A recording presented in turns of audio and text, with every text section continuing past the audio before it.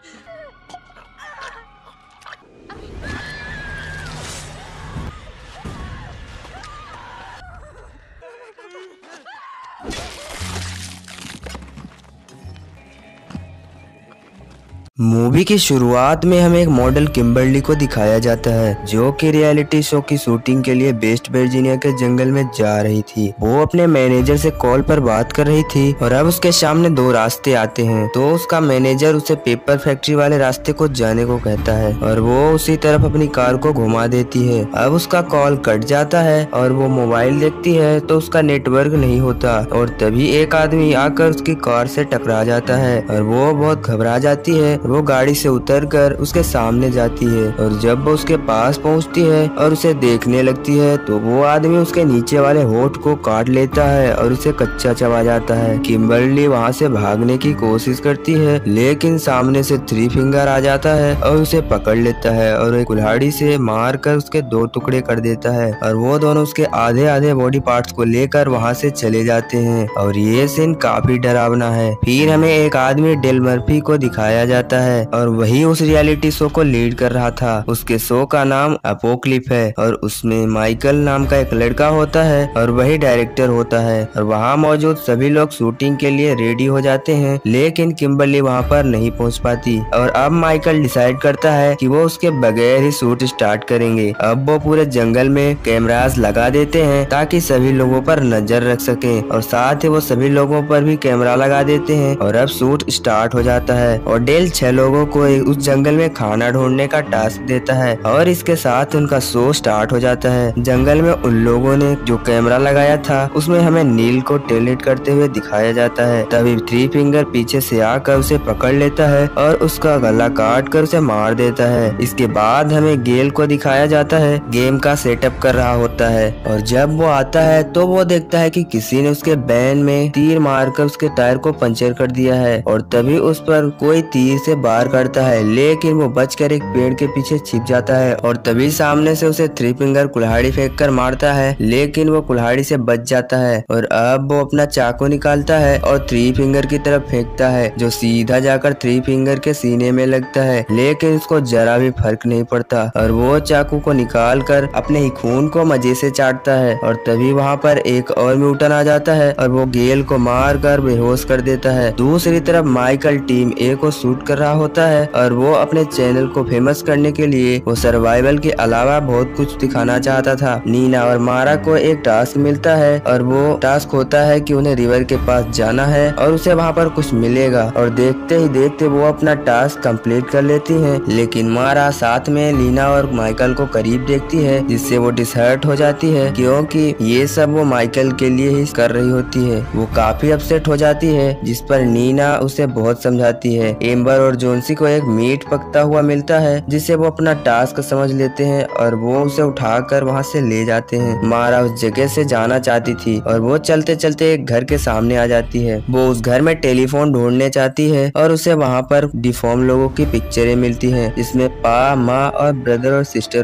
की फ़ोटोज़ होती है, जिसमें वो बहुत खतरनाक दिख रहे होते हैं। तभी वहाँ पर कोई चिल्लाते हुए अंदर आ जाता है और वहाँ पर माँ और सिस्टर होती है। माँ की डिलीवरी होनी थी तो सिस्टर उसे टेबल पर लेटा देती है और वो एक बच्चे को जन्म देती है, जो कि बहुत ही खौफनाक होता है। वो दोनों उस बच्चे को देख ही रही होती हैं, तभी सिस्टर की नज़र उन पर पड़ जाती है और वो उन पर झपटने लगती है। तो वो दोनों दरवाज़ा बंद करके उसके सामने एक बेड लगा देते हैं और वो अब काफ़ी घबरा जाती है। उन्हें समझ नहीं आ रहा होता की वो क्या करे। तब मजबूरन उन्हें उनके टॉयलेट होल के ज़रिए बाहर आना पड़ता है और वो वहाँ से जान बचाकर तेज़ी से भाग रही होती है। लेकिन एक म्यूटन पा उन्हें देख लेता है और वो एक कुल्हाड़ी उनकी तरफ़ फेंकता है, जो सीधा आकर मारा के सर पर लगता है। सेल्फिस नीना वहाँ से भाग जाती है और पा आकर मारा के सर से कुल्हाड़ी निकालता है और वो नीना को ढूँढने लगता है। नीना वही झाड़ियों में छुप जाती है। दूसरी तरफ़ माँ ट्रक लेकर पा को लेने आती है और उसने मारा को भी उस ट्रक में बांधा होता है। जब वो लोग वहाँ से चले जाते हैं, तब नीना भी वहाँ से भाग जाती है। दूसरी तरफ़ माइकल वहाँ से निकलकर हार्वी की तरफ़ चला जाता है और वहाँ पर लीना पीली हो जाती है और एक म्यूटन ब्रदर जो उसे काफ़ी देर से देख रहा होता है और अब वहाँ पर सिस्टर भी आ जाती है, जो ब्रदर को देख कर जेलस होती है और वो ब्रदर को पीटने लगती है। अब लीना वहाँ से भाग रही होती है, तब सिस्टर एक चाकू लेकर उसको मारने के लिए आती है और उसे पकड़ कर उसे इतना मारती है कि वो मौके पर ही दम तोड़ देती है। अब डेल को जब होश आता है तो वो देखता है कि किसी ने उसे उल्टा लटकाया है। थ्री फिंगर सामने नील को काट कर डिनर की तैयारी कर रहा होता है। अब थ्री फिंगर डेल को मारने आता है, जिस पर डेल उसे जख्मी करके खुद को आज़ाद कर लेता है। डेल एक आर्मी सोल्जर होता है, जो कि थ्री फिंगर से बहादुरी से लड़ता है, और फिर डेल उसी के गन को छीन कर उसे उड़ा देता है। दूसरी तरफ़ माइकल हार्वी में पहुँचता है, और सारे कैमराज को चिक करने लगता है। तब अचानक से बैन खुद ब खुद चल पड़ती है, और माइकल सोचता है कि शायद नील उसे चला रहा है। लेकिन हमें दिखाया जाता है कि उसे पा और माँ चला रहे होते हैं। पा माइकल को पकड़कर जख्मी कर देता है दूसरी तरफ़ जेक एम्बर और जोन्सी बड़े मज़े से उस मीट को खा रहे होते हैं। नीना वहाँ पर हाँपते हुए उन लोगों के पास पहुँचती है तो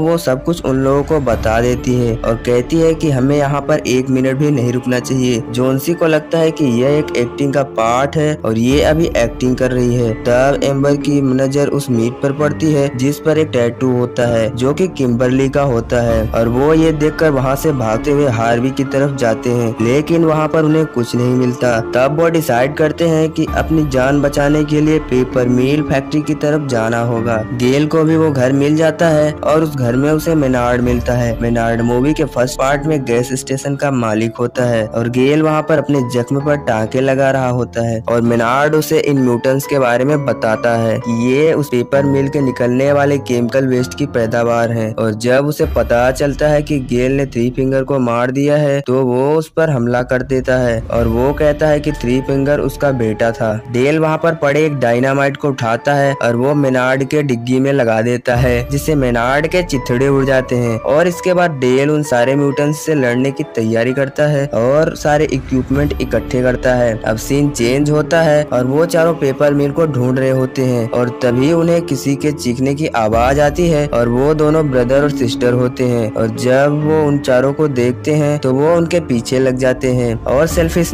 नीना उन तीनों को छोड़कर वहाँ से भाग जाती है और वो तीनों उनका मुकाबला करते हैं। वो तीनों उनसे लड़ते हैं और वहाँ से भाग जाते हैं। नीना एक ट्रैप में फंस जाती है और वो वहाँ से बाहर नहीं आ पा रही होती और उधर जैक उसे ढूँढने का डिसाइड करता है और इम्बर और जोनसी को कहता है कि तुम दोनों मिल फैक्ट्री में जाओ, हम दोनों वहीं मिलेंगे। वो नीना की आवाज़ सुनकर उसे एक गड्ढे से बाहर निकालता है और तभी उन्हें म्यूटेंट्स का ट्रैक दिखता है और वो वहाँ से भाग जाते हैं और भागते भागते एक ऐसी जगह पहुँच जाते हैं, जहाँ नीचे रिवर होता है और तभी वहाँ पर सिस्टर आ जाती है और उन पर गोलियाँ चलाना शुरू कर देती है। तब वो लोग उस रिवर में कूद जाते हैं और दूसरी तरफ़ एम्बर और जोन्सी भाग रहे होते हैं। लेकिन तब एम्बर एक ट्रैप में फंस जाता है और जोन्सी उसे बचाने की कोशिश करती है और वो खुद भी उस ट्रैप में फंस जाती है। और इतनी देर में वहाँ पा और ब्रदर आ जाते हैं और अब ब्रदर एक ही तीर में उन दोनों को मार देता है। नीना और जैक बड़ी मुश्किल से पेपर मिल पहुँच जाते हैं और वहाँ पर उन्हें अलमीरा खोलने पर एक स्केलेटन मिलता है, जो कि एक छोटी सी बच्ची का होता है। नीना उसे देखकर बहुत डर जाती है और वो सोच रही होती है कि ये बच्ची भी उन म्यूटेंट्स के डर की वजह से इस अलमीरा में छुप गई थी और इंतज़ार करते करते इसकी ये हालत हो गई। डर की वजह से नीना वहाँ से भागने लगती है, लेकिन जैक उसे पकड़कर कहता है कि जोनसी और एम्बर यहाँ पर आने वाले हैं और हमें उनका वेट करना चाहिए। और वो अब पार्किंग में देखते हैं तो उन्हें वहाँ पर बहुत ज़्यादा गाड़ियाँ खड़ी हुई दिखती हैं और वहाँ पर उनकी हार्वी भी खड़ी होती है, जिस पर माइकल के चिल्लाने की आवाज़ें आ रही थी। वो दोनों उसे बचाने के लिए आगे बढ़ते हैं और जब जैक अंदर देखता है तो वो देखता है कि माइकल लाइव आ रहा है और माँ उसे बड़ी बेरहमी से मार देती है, जिससे जैक समझ जाता है कि ये उनके लिए एक ट्रैप बनाया गया है और वो दोनों भी पकड़े जाते हैं। नीना जब होश में आती है, तब वो अपने आप को डाइनिंग टेबल के सामने बंधा हुआ पाती है और जैक भी उसके सामने बंधा हुआ होता है। ब्रदर ज़बरदस्ती नीना के मुँह में खाना डालता है और यहाँ हमें पता चलता है कि ये फैक्ट्री ही असल में उनका घर होता है। माँ एक ग्राइंडर में बचे हुए बॉडी पार्ट्स को फेंक रही होती है। तब डेल उन्हें छुप कर देख रहा होता है और डेल जब बाहर आता है तो उसके चलने की आवाज़ पैदा होती है। आवाज़ सुनते ही वो म्यूटेंट्स वहाँ ढूंढना शुरू कर देते हैं। डेल ब्रदर और सिस्टर को अपने ट्रेन में फंसा कर उन्हें डायनामाइट से उड़ा देता है और अब डेल नीना और जेक को आज़ाद कराता है और तभी वहाँ पर पा और माँ आ जाते हैं और वो अपने बच्चों को टुकड़े टुकड़े देख कर पागल हो जाते हैं। पा डेल पर कई तीर मारता है, लेकिन वो एक स्ट्रॉन्ग आर्मी सोल्जर था और उसे कोई फ़र्क नहीं पड़ता। तब माँ उसकी तरफ़ एक धारदार चैन फेंकती है, जो कि उसकी गर्दन में लिपट जाता है और उसकी पूरी गर्दन काट देता है और मौके पर ही उसकी मौत हो जाती है। नीना वहाँ से बाहर आ जाती है। माँ और पा जैक को ग्राइंडर में फेंकने की कोशिश कर रहे होते हैं। तब नीना उसके हेल्प के लिए जाती है और वो पा की गर्दन पर काट कर उसकी चमड़ी को उखाड़ देती है और अब जैक पा को ग्राइंडर में ढकेल देता है जिससे उसका एक हाथ उस मशीन में चला जाता है। और अब नीना एक लीवर को खींच देती है जिससे लकड़ी का एक, एक ब्लॉक जाकर सीधा उन दोनों म्यूटेंट से टकरा जाता है और सीधा उन्हें ग्राइंडर में फेंक देता है जिससे उनका कीमा बन जाता है। नीना और जैक अब एक कार में बैठ कर वहाँ से चले जाते हैं और अब हमें थ्री फिंगर को दिखाया जाता है जो की अभी भी गोली लगने के बाद मरा नहीं होता। वो उस बच्चे को जो की माँ ने पैदा किया था, उसे मारा के फिंगर को खिला रहा होता है। और इसी के साथ ये मूवी यहाँ पर एंड हो जाती है। इस मूवी का फ़र्स्ट सेकेंड और थर्ड पार्ट मैंने ऑलरेडी एक्सप्लेन कर दिया है, जिसे आप कमेंट बॉक्स में जाकर देख सकते हैं। Thank you for watching and subscribe for more